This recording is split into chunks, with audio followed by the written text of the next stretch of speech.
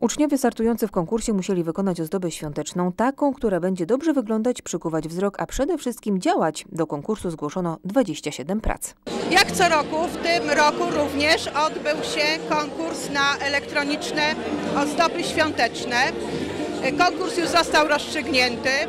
Cieszył się naprawdę bardzo dużym zainteresowaniem. W tym roku mieliśmy aż 27 prac, z czego prace są naprawdę piękne. E, Nagrody będą też wspaniałe.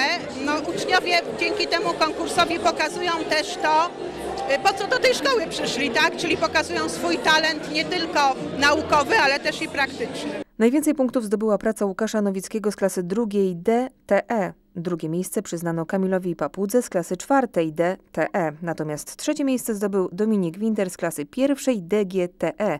Wykonane prace zostały wystawione na sprzedaż w ramach dzisiejszego jarmarku bożonarodzeniowego. Zebrane pieniądze zostaną przeznaczone na paczki dla uczniów tejże placówki, którzy znajdują się w trudnej sytuacji materialnej.